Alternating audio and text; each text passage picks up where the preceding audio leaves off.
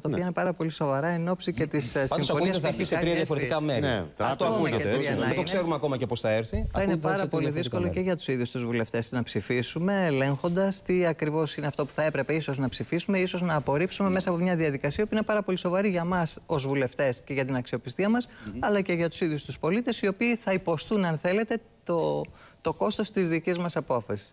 Εγώ να, πάω, να ξεκινήσω από αυτό που είπε ο κ. Καραγκούνης όσον αφορά το θέμα της ανάπτυξης. Αν πάμε λίγο ανάποδα και δούμε το θέμα της ανάπτυξης και γιατί πουλιάται ακριβά το γάλα στη, στην Ελλάδα, νομίζω ότι η κυβέρνηση το πρώτο πράγμα που θα έπρεπε να δει είναι να ξεκινήσει βήμα-βήμα να δει τι συμβαίνει σε αυτή τη διαδικασία. Και θα μου επιτρέψετε να μου δώσετε δύο λεπτάκια για να σας πω ακριβώς τη σκέψη μου. Την αλυσίδα. Ακριβώς. Μία θέση στον πρωτογεννητή με- τομέα, μία θέση εργασίας στον πρωτογενή τομέα, μας δημιουργεί 12 θέσεις στο δευτερογενή, τριτογενή κτλ.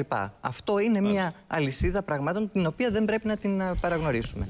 Επίσης δεν μπορούμε να, να παραγνωρίσουμε το γεγονός ότι η χώρα μας αυτή τη στιγμή αυτό που παράγει είναι το 70% περίπου του ποσοστού που η Ευρωπαϊκή Ένωση απαιτεί να, να έχουμε εμείς.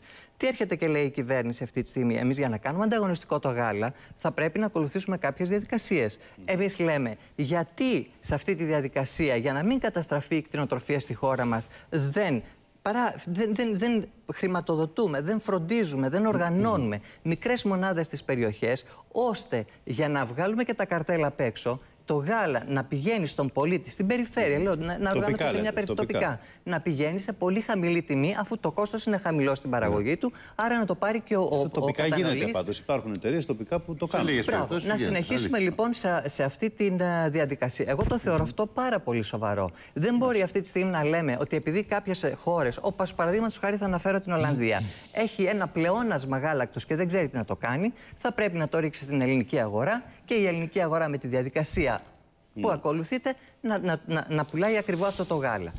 Λοιπόν, ε, ε, ε, Εμείς αυτό- θέλουμε να έχουμε φθηνότερο προϊόν, Φυσικά κυρία και θέλω Σοκοράφα. να έχω Γιατί η προϊόν. κυβέρνηση λέει Αλλά αυτό. θέλω λέει ότι παράλληλα- εγώ ενδιαφέρομαι για τον πολίτη, για τον πολύ κόσμο. Με αυτή τη Να έχει διαδικασία φθηνό λοιπόν προϊόν. που σας λέω εγώ αυτή τη στιγμή, υπάρχει μια δυνατότητα να έχουμε, διότι τότε θα λείψουν και όλα αυτά που μας Ναι. λένε όσοι ασχολούνται. Δηλαδή το ότι έχουν ακριβά μεταφορικά, ότι μας Αυτό κοστίζει θέλει το χρόνο ένα ή που το άλλο λέτε. ή το άλλο. Αυτό θέλει ένα σχεδιασμό και θέλει χρόνο να υλοποιηθεί. Δεν γίνονται αυτό τα που λέτε. πράγματα από τη μία μέρα στην μεταρρυθμίσεις άλλη. που τρέχουν. όχι. Είναι, Μα είναι δεν μεταρρυθμίσεις γίνονται, που τρέχουν έτσι δεν παράλληλα. είναι. έτσι. Ναι, ναι. Αλλά Λοιπόν. μόλις τελειώσει και η Σακοράφα να πω. Να πούμε τώρα τα άσχημα αυτής της ιστορίας. Τα άσχημα αυτής της ιστορίας είναι ότι θα, δεν θα, θα, πάψουν, θα, θα, θα καταστραφούν θέσεις εργασίας. Το πρώτο. Γιατί; Το δεύτερο, γιατί; Γιατί θα, υ- υπάρχει περίπτωση να επιβιώσει κάποια, κτηνοτροφή, κάποια κτηνοτροφική μονάδα με αυτή τη διαδικασία; Όχι, δεν συμφέρει, θα κλείσει. Διότι Λόγω θα των έρθει το τιμών, λέτε, γάλα δεν απ' τη έξω. Θα συμφέρει έρθει το να γάλα λειτουργήσει. Μάλιστα. Λοιπόν, το δεύτερο και το οποίο δεν το έχει κανείς σκεφτεί. Είναι μονοκαλλιέργεια το γάλα, κύριε. Δεν είναι μονοκαλλιέργεια. Ε, όχι, βέβαια. το γάλα έχει και άλλα παρεπόμενα. Δηλαδή, θα καταστραφούν η, βιομηχανία, η, α, η, βα- η γαλακτοβιομηχανία που είναι κτην- κτην- κτηνοβι- η κτηνοτροφία. Ναι. Θα έχουμε έλλειψη κρέατος, το καταλαβαίνετε αυτό το πράγμα. Δηλαδή, θα μπούμε και σε μια άλλη διαδικασία. Εισαγωγής κρέατος για να μπορέσουμε να καλύψουμε τις Έτσι κι αλλιώς ανάγκε. αυτό δεν κάνουμε τώρα 70-30 είμαστε. Ναι, αλλά ποτέ δεν θα το αλλάξετε. αλλά δεν μπορεί να καταστρέφουμε τα δικά μας για να κάνουμε εισαγωγές μόνο και μόνο απ' έξω για, να, για να μπορέσουμε να καλύψουμε τη δική μας αγορά. Α εξαντλήσουμε τη δική Ωραία, μας εσεί αγορά. έχετε μπεις στην και ουσία. Αυτό είναι ένα σχεδι... θέμα σχεδιασμού. Τώρα στο πολιτικό κομμάτι, εσείς γιατί καλείτε τους βουλευτές σε αποστασία; Αυτό θα μπορούσε να πει κανείς ότι ξεπερνάει και μια γραμμή, ρε παιδί μου. Τώρα να καλούμε καλεί σε του βουλευτές σε αποστασία. αποστασία και εδώ Ψήφιση είμαστε εμείς. αποστασία. Όχι, δεν λέτε Όχι, δεν- αυτό. δεν καλούμε σε αποστασία. Λέτε ότι Επιτρέψτε εδώ μου. είμαστε εμείς, έρχονται οι ευρωεκλογές, παιδιά, μη σας νοιάζει. Αυτό λέτε. Στην πραγματικότητα. Δεν λέμε αυτό. Εμείς λέμε ότι οι διαδικασίες οι οποίες ακολουθούνται αυτή τη στιγμή είναι πέρα από κάθε λογική, πέρα από κάθε, ε, αν θέλετε, κοινοβουλευτική διαδικασία, έτσι όπως τη γνωρίζαμε τουλάχιστον μέχρι τώρα. Δεν μπορεί να έρχεται η κυβέρνηση με ένα άρθρο και να, να πιέζει τους βουλευτές. Να Ε, πιέζει δεν την ψηφίσουν κυριολεκτικά άμα τους δεν θέλουν. βουλευτές. Δεν του μαλώνει κανείς.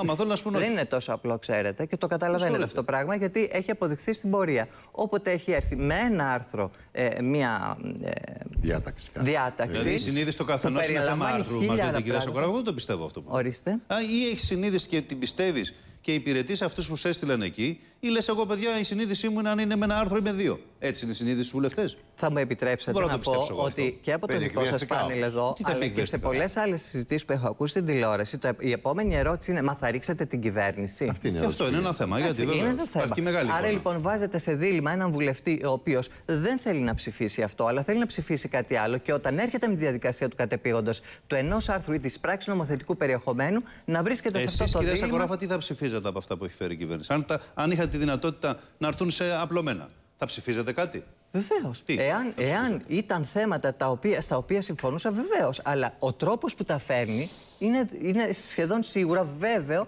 ότι δεν πρόκειται να τα ψηφίσουν. Πάντως, κυρία Σοκογράφου, μέχρι τώρα δεν έχετε ψηφίσει κάτι; Δηλαδή, εμείς όταν ήμασταν αντιπολίτευση ε, την περίοδο 2009-2012,